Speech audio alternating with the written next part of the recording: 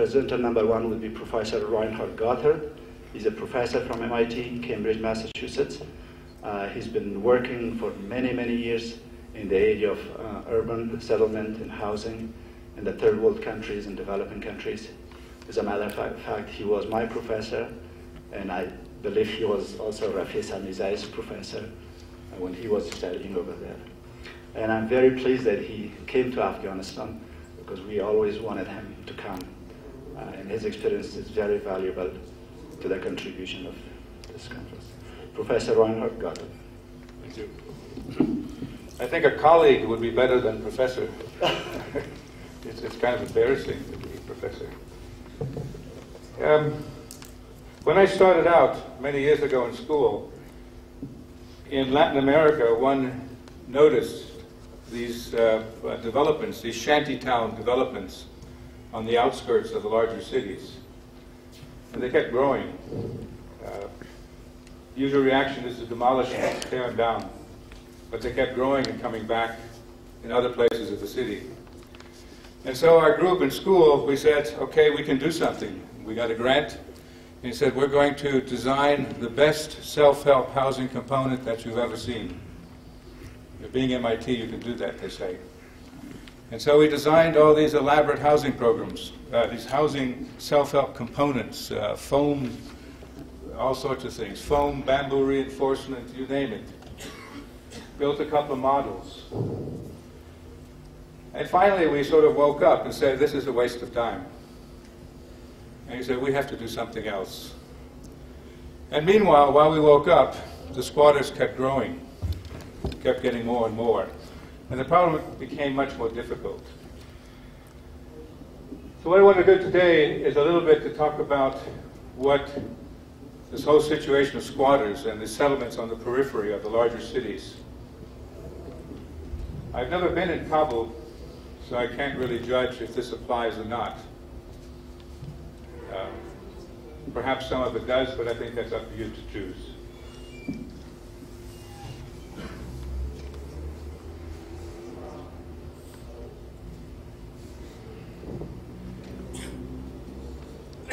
Now let me talk about some terms at first. You've heard a lot of words, uh, squatters, uh, illegal settlements, informal settlements, popular settlements. These are essentially all the same different ways of looking at it, different perspectives. You know, if you say illegal settlement right away, these people are bad. If you say popular settlements, then you say, wait a minute, this is something else. You know, popular coming of the people. Uh, I prefer to use for the time being uh, informal settlements outside of the formal structure. Okay, to, not to say that they're legal, not to say that they're inherently bad, but they're just outside the structure. It's a different world. When we talk about these squatters and talk about different policies, I think it's important to keep in mind this notion of poverty alleviation. This is a jargon which has been going around in the field. Essentially, the notion is that income is very important. That is one of the key objectives. We may be doing all sorts of other things with it, but essentially, income is the thing that we shouldn't lose sight of. The context, and I think is very important. The first thing that one realizes in squatters is that there's lots of them. And they, they grow very fast. You know, we're not talking about a hundred or a thousand. We're talking about many, many more. I think in they used to say in Cairo that every day you would have 1,000 new people coming in. That's how much in a year? That's 1,000 times 365?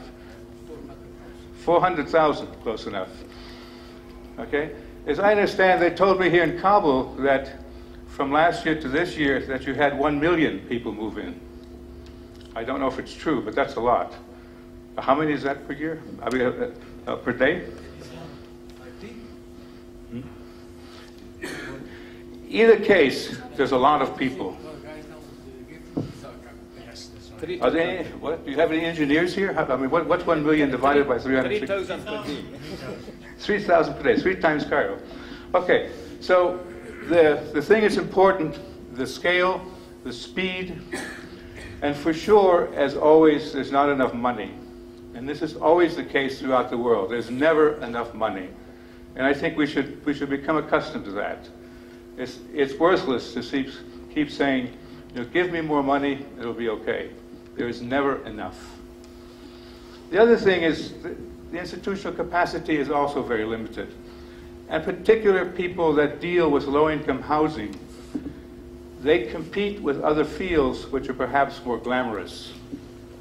You know, if you want to be a famous architect, do you deal with squatter houses? What do you tell your parents? I work with shacks? Ooh. We had some people come to MIT uh, studying squatters, shacks.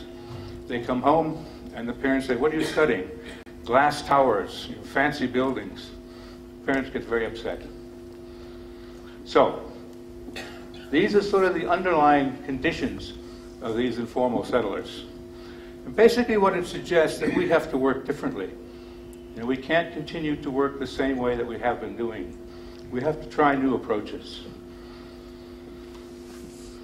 Uh, I think most of the countries of the world have suffered from this. Uh, you know, hillside developments. Uh, Peru, for example, there's a spontaneous squatters. Uh, this is in Colombia. Uh, this is in Africa. And this is also in, in Peru. So there's all sorts of kinds. Uh, they squat on hillsides, they squat everywhere. You may not like where they squat. But what's happening because of their numbers is that essentially they're starting to form their own world. They're, they're, you can't say they're ignoring the rest of the world, but they're outside of it. And what the trend seems to be among professionals is first, you know, in the olden days we would say we want this informal sector, we want the squatters to join us, you know, to accept the standard, to fit inside the zoning regulations. Okay, in that first uh, image that you see. But what's happening now is essentially, in a way, it's saying that we as professionals have failed, we've given up. We need to figure out how to join them. And what can we adopt, what can we learn from them that seems to work? You know, some of the things that you see happening already, uh, programs are adopting these informal kind of service providers, you know, people that sell water, illegally, informal, any name you like. And this has now been recognized as perhaps, instead of being illegal and bad and competing with the government, perhaps we should support this. Let's see what they need. Let's see if we can make it better. This has become quite common, in fact. The other thing which is quite interesting that I find is this notion of illegal, informal realtors or agents. You know, the question is this if you're a squatter, let's say you want to squat, right? And you're sitting here, you want to squat, you ask somebody, where should I squat, right? Sometimes. And you say, well, tell me where to go. How big should I make it? You say, no, you go over there, you go over there, you go over there. So, in other words, what you find in some countries, I don't know if it happens here, is you have these agents, if you like, or realtors, if you like. And what they do essentially is they help subdivide the land to their own interest, obviously. They get a cut. It has been argued that these are exploiters. But what they do, in fact, is that they provide for an orderly kind of development. And perhaps, again, we should look at it. This is something worthwhile to think about. And then the question is, how can we work with them? You know, how can we work with them? They're doing something useful for us. The other thing that you see being adopted from the informal, which is quite common already, is microloans. You see them all over. I think that's quite common. The third thing is that essentially this whole notion of legal land titles is no longer seen as being the ultimate, utmost importance. In other words, what you do, what you find are programs that essentially say, don't worry about getting legal title, we'll improve the neighborhood. So, in other words, they sort of bypass that. And for various reasons. They got very complicated and so on. So, this is a trend that's happening. And instead of us trying to force them to become like us, we essentially have said we can't keep up. let's see and learn from them. Let me go a little bit backwards in the presentation. These are sort of a, a model that you, that, if you like, that sort of came out of various water settlements and, or you know, various kind of programs that have been adopted. And perhaps the first step that you should do, if you were doing this, is to establish some sort of an action team. It's a small group of people, very dedicated, that would like to work with these and understand them. And this team, it's important to have not just technicians, professionals like us, but also community members, you know, people that actually live there. So the first thing, you set up a team. The second thing I think is extremely important is to try to understand the process. Know, it's not to understand, it's not, an, it's not, I have to choose my words wisely here. It's to understand the process and not essentially just to count statistics. For example, if we try to understand the squatters, we do a survey. What use is it if we find out there's 3.2 people per household or 4.8 something like that? Interesting, but what can we do with it? We need to understand the process of these informal settlements. The notion, like who helps you figure out your piece of land? You know, where does the road go? How much do you have to pay? Very important. Okay, so the notion is, I think it's very important to first, first thing you do is try to understand what's happening and to understand the mechanisms. There's several different techniques that you can use. There's PRA, participatory rapid assessment, and so on, which essentially uses the members of the community to help find out information. And this information that you get, as they say, is good enough. It's quick, and it's good enough to understand and to start making decisions. The next thing I would suggest is to agree on problems and to agree on the problems with the communities as partners. You know, not something that we sit and isolated in an office and say, boy, it's very clear, you know, they don't have water, they don't have sewage, must be problems. I think it's important to sit together and agree and decide what's the problem. Then you have to decide, once it's clear what that is in your mind, then you have to decide on what you want to do. Because you may not want to do everything. There's a priority in things. For us architects, uh, we have done this several times, and for us architects, when we go to a community, it always hurts us when people say housing is not a problem. we say, gee, come on, the house is a shack. What's the problem? It's, it's, it's obviously bad. They say, no, we have other interests water, sewage, schools. In one case, they wanted um, bus transport to employment centers. Okay, so it's important to jointly figure out the problems and what you want to do about it.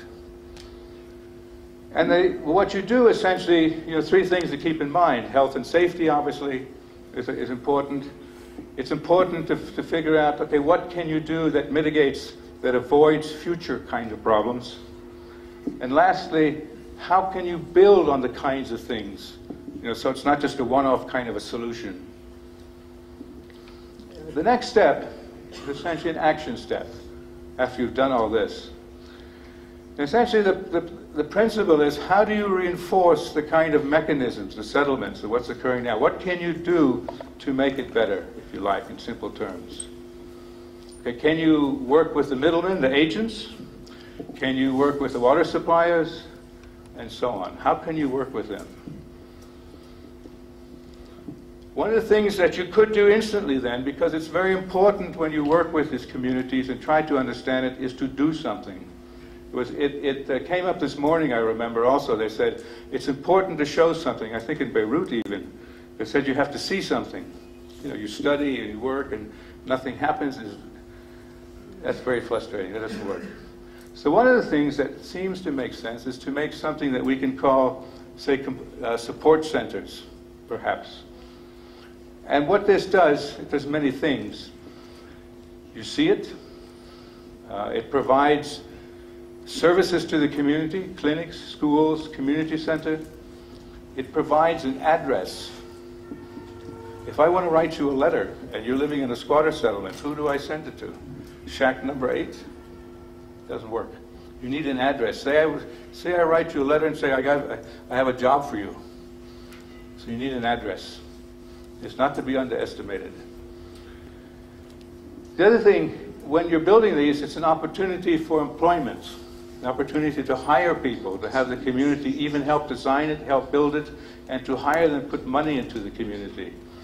You could even make this a public-private partnership that one talks about. You could model this on traditional elements.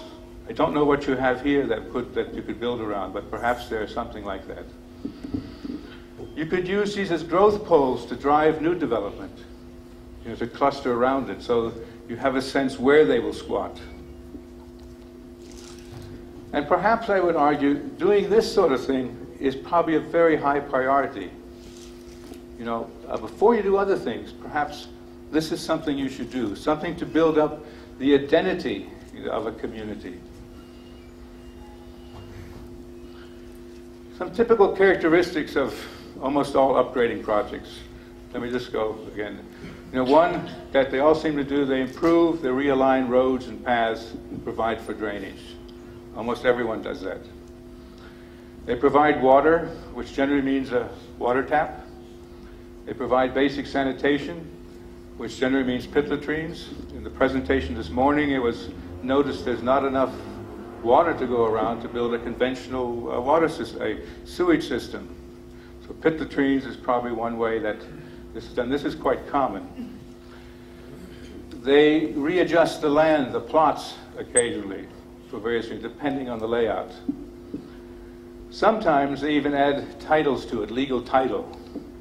You know, you know, legal title has become a big issue. There's a, a book that came out quite recently where it was argued that uh, one of the reasons squatters can't make it is that they don't have title and they can't use their land as collateral, as a source of income.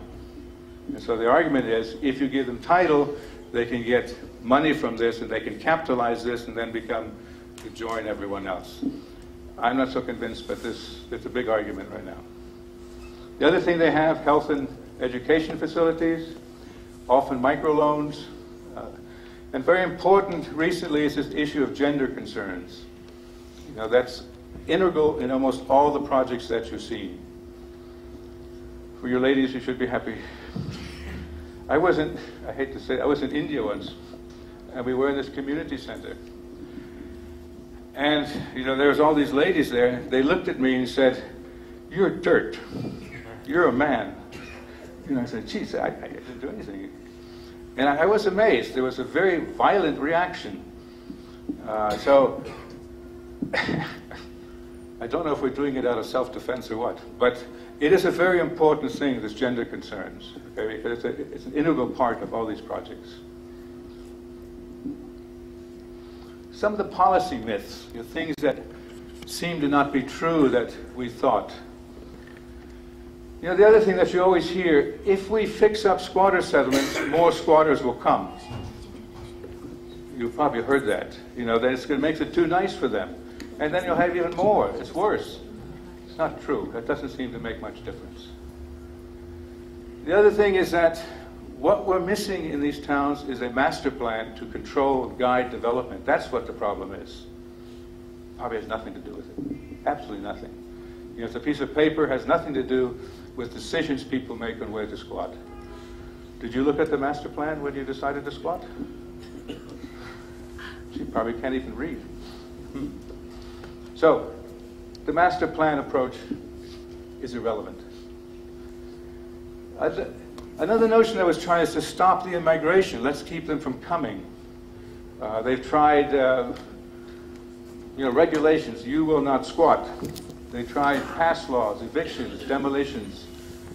It doesn't seem to stop it. It may shift it to some other part in the city, but doesn't stop it.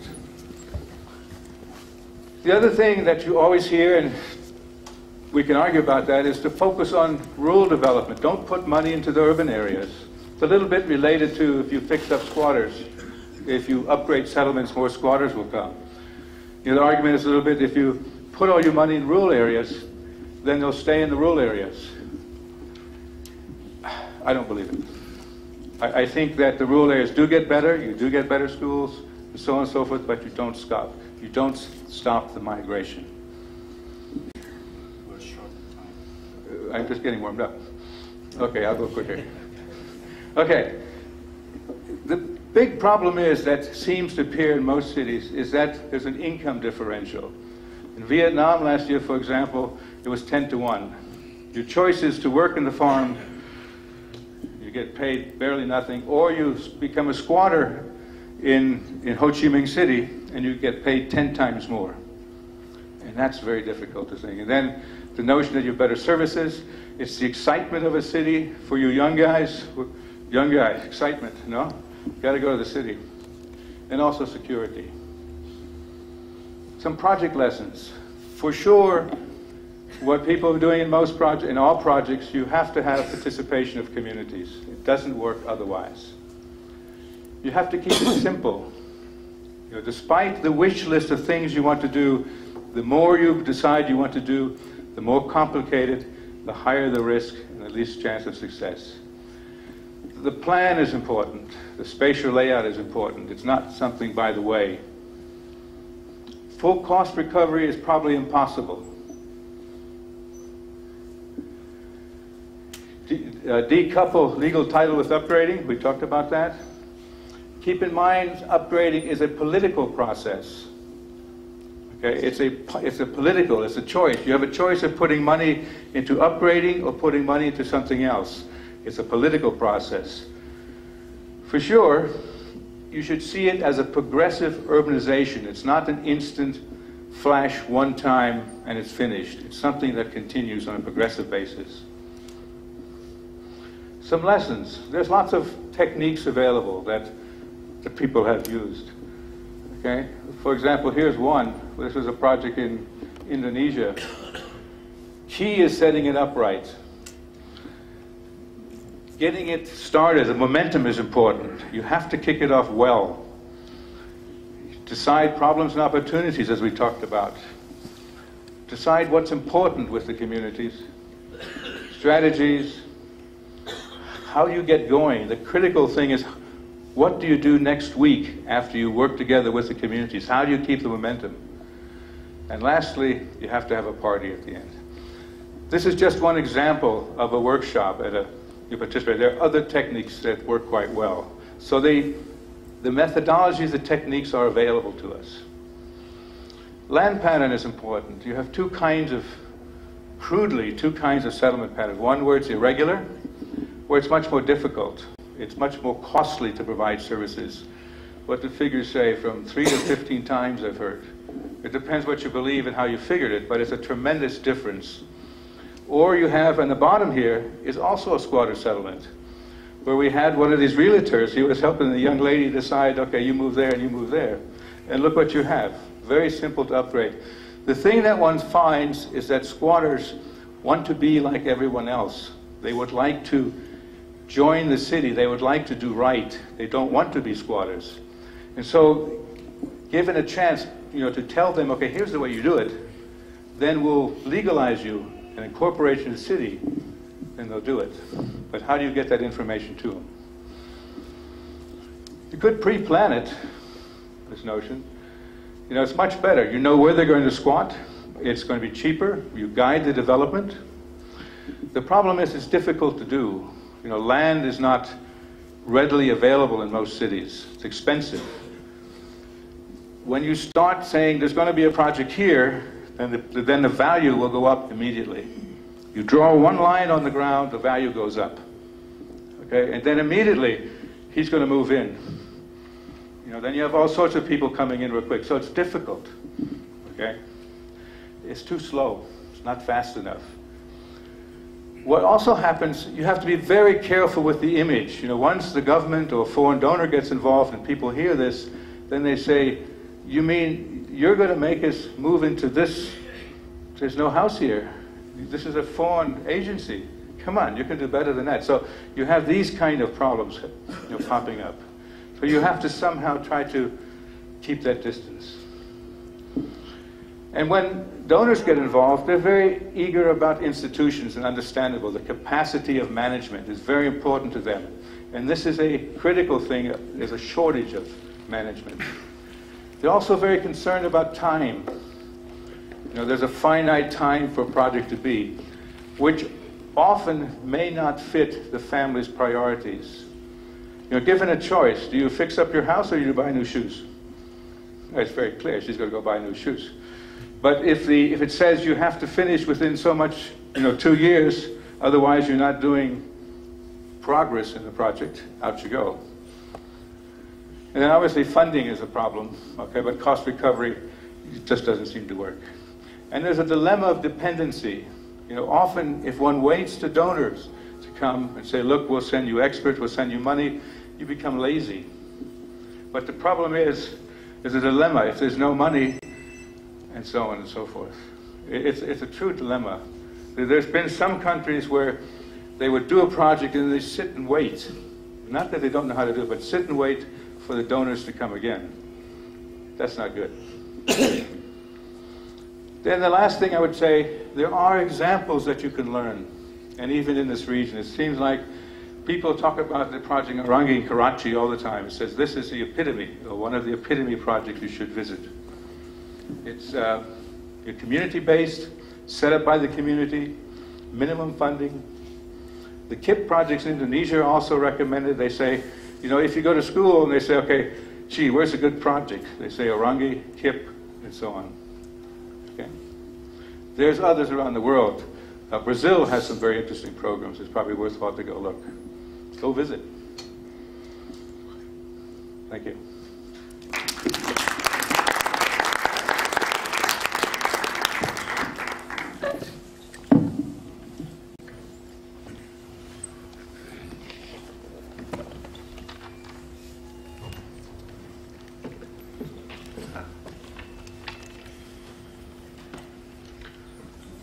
من کوشش می‌کنم که یک قسمتی از گفته های از اونا رو به فارسی به شما ترجمه بکنم.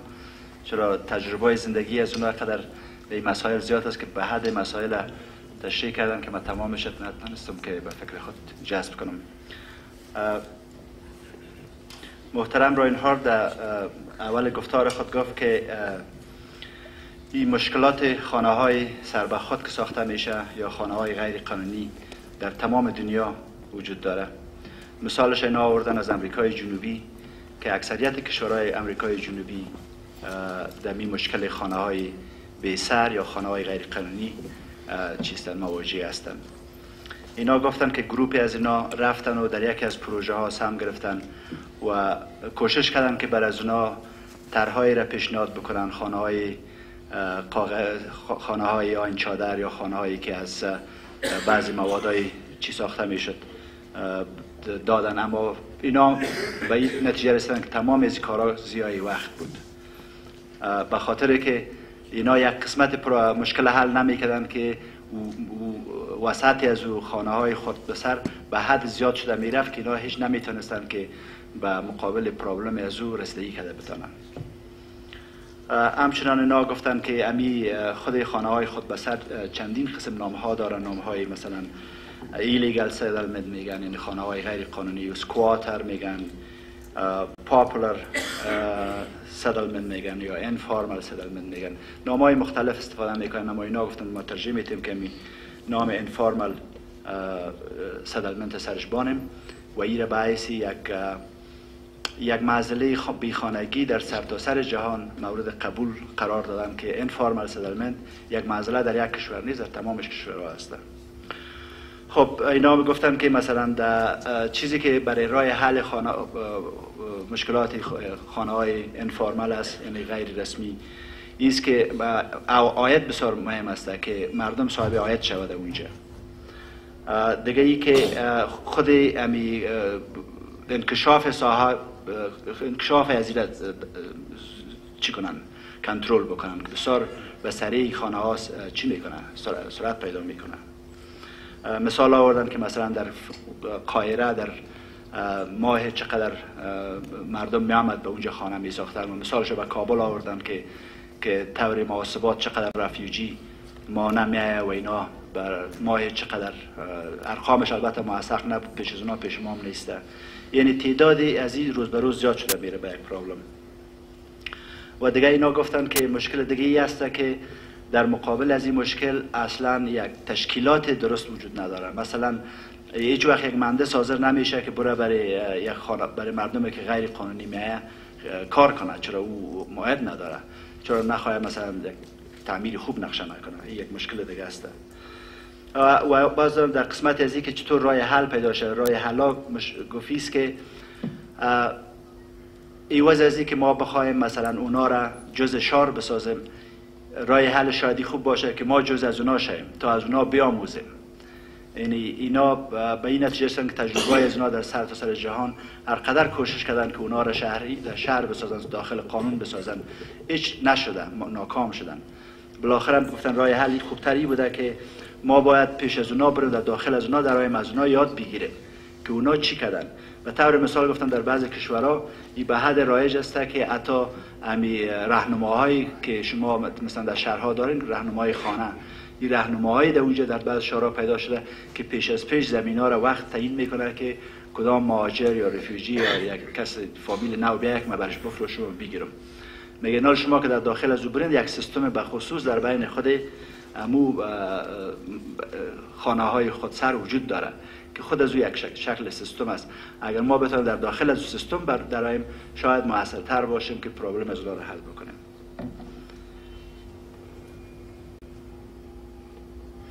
و دیگه مسائل چی زیرا اینا بحث کردن که بعضی دولت ها یا حکومت ها در سرزی بحث می‌کنن که آیا ما امی خانه های غیر قانونی را به اصطلاح تایتل برش بتیم یعنی قواله برشان بتیم که مالک شون یا نه.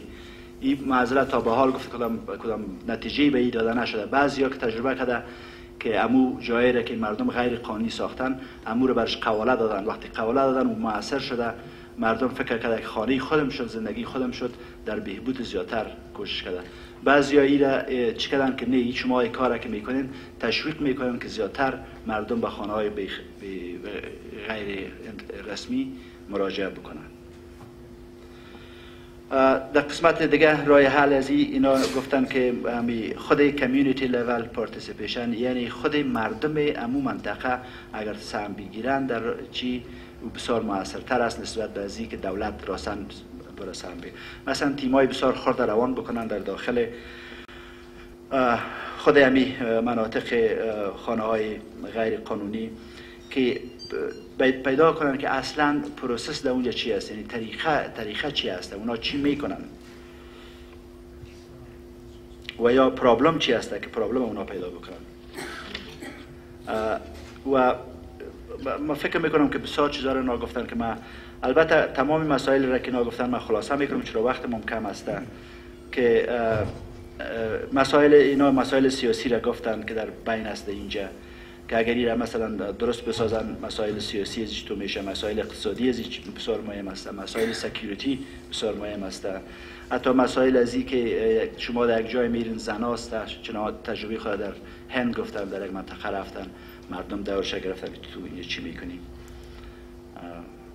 و همچنان نایاد کردن که در بعض جایا کوشش کردن مردم که پیش از او که مردم برای یک منطقه را غیر, غیر قانونی اشغال کنه و خانه بسازه بعض حکومت ها یا یا یا شاروالی ها کوشش کردن که پیش از پیش یک منطقه را جور کنه برشان که بیاید اما او را هم گفتن که نتیجه مثبت نداده و چندان موفق نبوده. و دیگه ای که اینا گفتن زمانی که دونران انوالو میشه به این ای کار از بد بدتر می‌سازه. برای که زمانی که پای دونر در مناطق غیر چی می‌رسه توقعات مردم بیشتر میشه.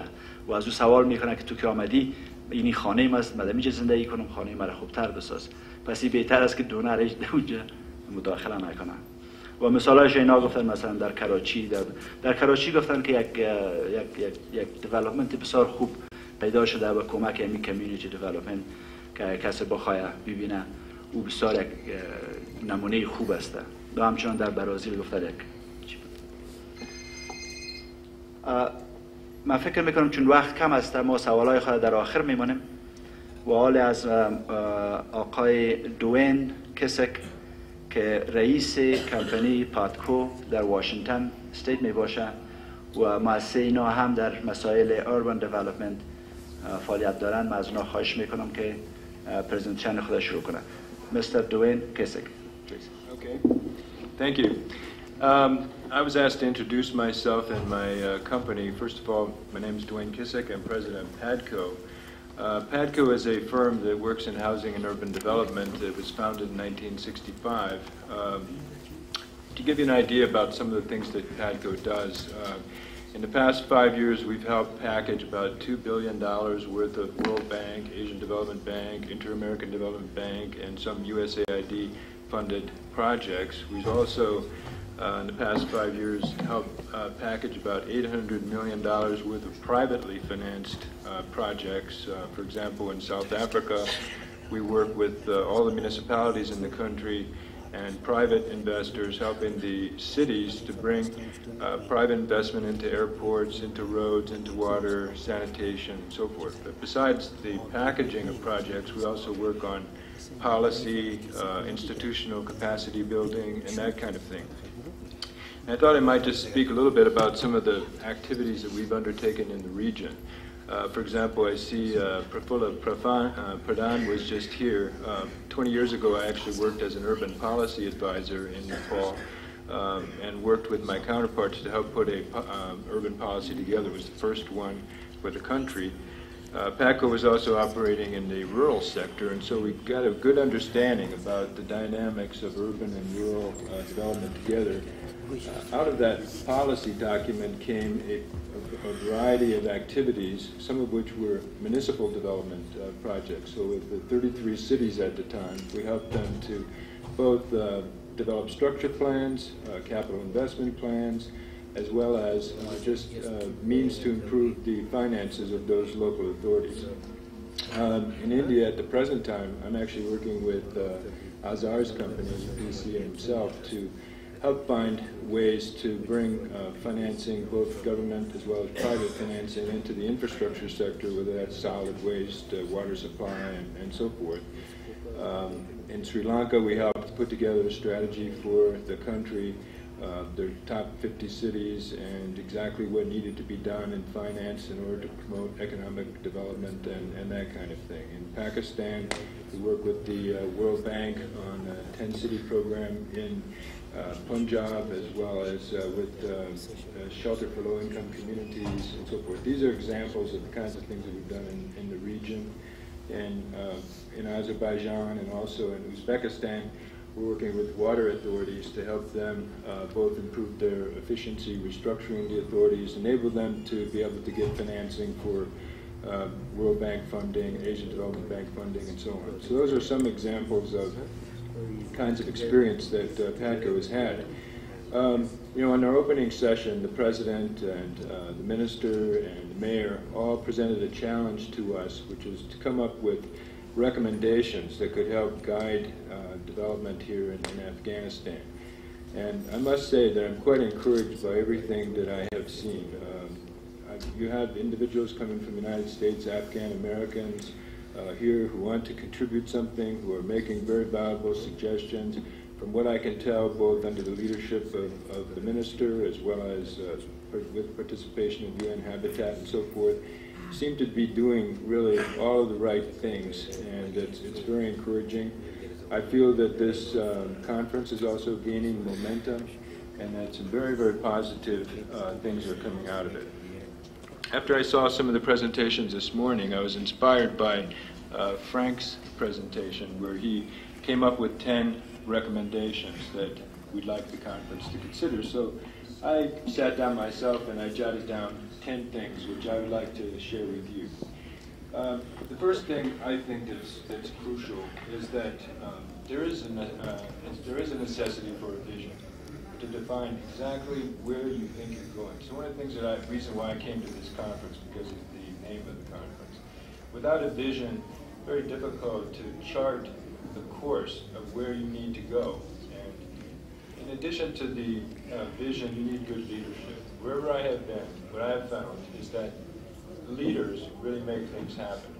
In the case of Nepal, for example, uh, the second city of Biratnagar, when we became involved out there, I was surprised to find that this mayor, who had had no training in development whatsoever, had, once he became mayor, he figured out a way to, uh, to eliminate some of the inefficiencies in the system, generate more revenues, He was carrying out adult literacy courses. He was uh, putting, you know, vaccinating uh, children to improve their health. He was getting the private sector to invest in drainage and so forth. So leadership too is, is really critical.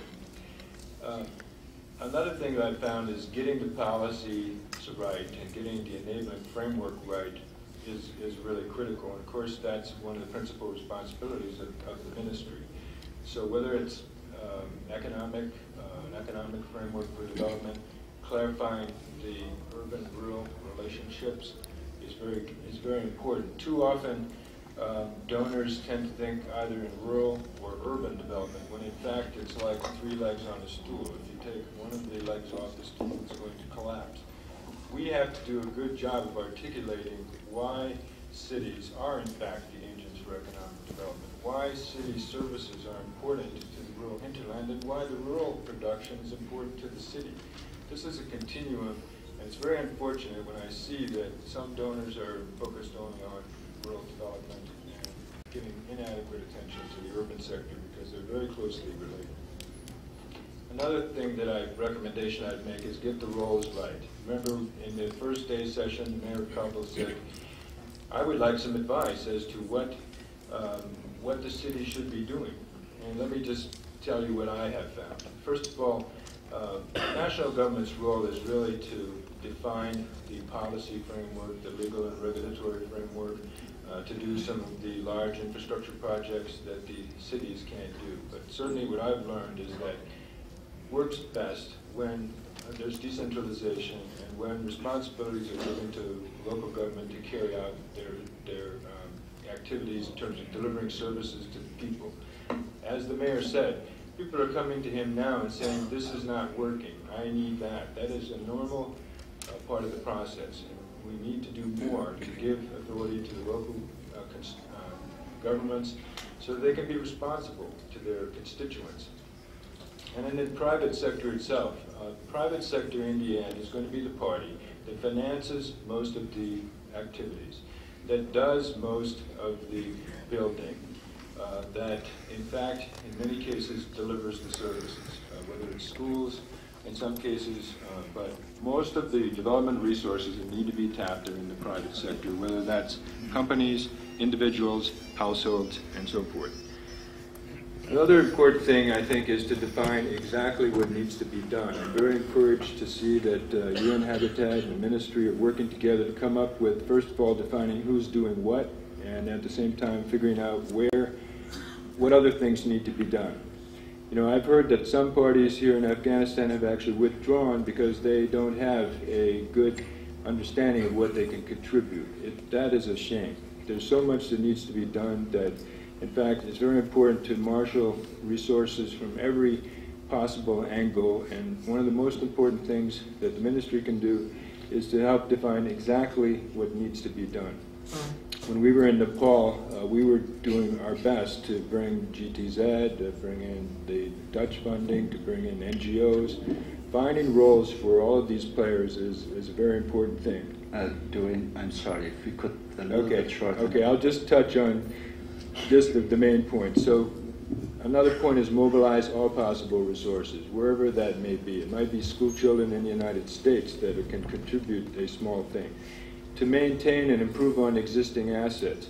Tearing down houses because they're informal settlements is really not the way to go. That represents a considerable investment. We need to maintain and build upon those. Getting the appropriate standards right. Uh, you know, whether it's a master plan, housing construction, so forth, it needs to be appropriate to the local situation and what they can afford. Promoting financial sustainability is very critical. In Egypt, we're working with some water utilities. We've actually helped them to increase their revenues from 2 million uh, Egyptian pounds to 26 million pounds just by improving efficiency in the operations, billing and collection systems, identifying water loss, and so forth. So there is a way to get much more out of what currently exists without increasing the rates at all. I mentioned to engage all possible stakeholders uh, in the process. This is critical. Uh, I think Richard will agree that a few years ago there was a, uh, an evaluation of World Bank programs. It said something on the order of 35% of all projects failed because there was a lack of stakeholder participation. Well, today, projects that we're working on require that there is stakeholder participation, that we work with the municipalities, that we work with the communities in order to have them decide what their priorities are. So that's another uh, very important principle that, uh, that's uh, critical. And as we had this morning, the notion of promoting environmental sustainability. This too is one of the main findings of programs like the World Bank, that if, if attention is not paid to the environment, you will pay. Um, I've seen in places like Bangkok where cars could not move for hours at a time. People were dressing their children in the uh, cars because there was so much congestion, there was so much pollution from the cars that you know, people had to wear masks, their eyes were burning. And there's a huge cost associated with that in terms of productivity, in terms of health problems, and so forth. So it is not something to be ignored. My last point is simply to say that I really do think that how, no matter how grand the vision is, it is doable. It can be done. I was involved in, um, in Soviet Union from 1992 until 1996. At the time, there was a joke going around, and that joke said, what are we going to do? We're, we're depressed. There's only two possible solutions. One solution is the realistic solution, one is the not realistic solution. The realistic solution is that extraterrestrials will land in Russia and sort out all the problems for us. And the one was unrealistic was we would do it ourselves. Well, in fact, they did do it themselves. And there has been a tremendous transformation, turning from a command and control economy to a market-oriented economy. Uh, a gentleman that I know is in Russia for the consulate could say, what kind of incredible change. Russians have proven to be some of the world's best capitalists, you know, restaurants, other kinds of investments. So uh, just as we've seen with Beirut also, it looked impossible that this could ever be the same. But in fact, they have outdone themselves. They have found a way to do it. And I'm confident that the same thing can be done here in Afghanistan. Thank you.